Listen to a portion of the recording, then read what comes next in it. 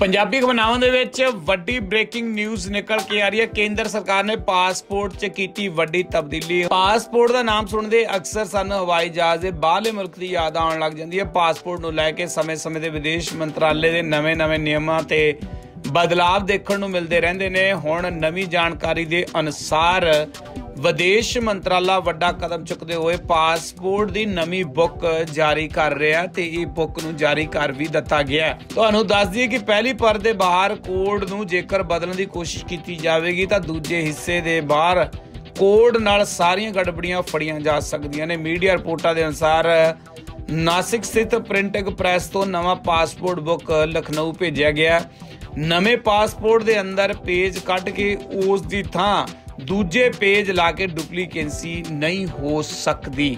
ਤੁਹਾਨੂੰ ਦੱਸ ਦਈਏ ਕਿ ਹਰ ਪੇਜ ਦਾ ਡਾਟਾ ਸਿਮ 'ਚ ਫੀਡ ਰਹੇਗਾ। ਤੁਹਾਨੂੰ ਦੱਸ ਦਈਏ ਕਿ ਇਮੀਗ੍ਰੇਸ਼ਨ ਦੇ ਸਮੇਂ ਵੀ ਪੇਜ ਦੇ ਆਧਾਰ ਤੇ ਹੀ ਇਸ ਤਰ੍ਹਾਂ ਦੀ ਗੜਬੜੀ ਨੂੰ ਰੋਕਿਆ ਜਾ ਸਕਦਾ ਹੈ।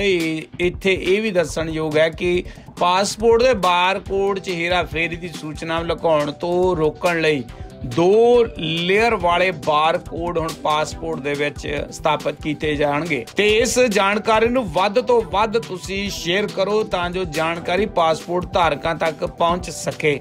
ਪੰਜਾਬੀ ਖਬਰਾਂ ਦੇ ਵਿੱਚ ਇਹ ਸੀ, ਹੁਣ ਤੱਕ ਦੀ ਵੱਡੀ ਖਬਰ ਖਬਰਾਂ ਦੇਖਣੀਆਂ, ਸੁਣਨੀਆਂ, ਪੜ੍ਹਨੀਆਂ ਤਾਂ ਬਣੇ ਰਹੋ ਆਜਨਿਊਜ਼ਵਾਲਾ.com ਦੇ ਨਾਲ।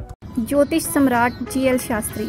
ਰੂਹਾਨੀ ਤੇ ਕਾਲੇ ਇਲਮ ਦੇ ਮਾਹਿਰ 2 ਘੰਟੇ ਵਿੱਚ ਘਰ ਬੈਠੇ ਹਰ ਤਰ੍ਹਾਂ ਦਾ ਸਮਾਧਾਨ, ਵਸ਼ੀਕਰਨ ਕਰਨਾ ਜਾਂ ਤੋੜਨਾ ਪਿਆਰ ਵਿੱਚ ਧੋਖਾ ਲਵ ਮੈਰਿਜ ਪਤੀ ਪਤਨੀ ਵਿੱਚ ਅਣਬਣ ਸੋਤਨ ਦੁਸ਼ਮਣ ਦਾ ਨਾਸ਼, ਹਰ ਤਰ੍ਹਾਂ ਦੇ ਲਾਟੀ ਨੰਬਰ ਦੇ ਮਾਹਿਰ, ਧੋਖਾ ਖਾਦੇ ਲੋਕ ਸਾਨੂੰ ਇੱਕ ਵਾਰ ਫੋਨ ਜ਼ਰੂਰ ਕਰੋ। 81468 13896 81468 13896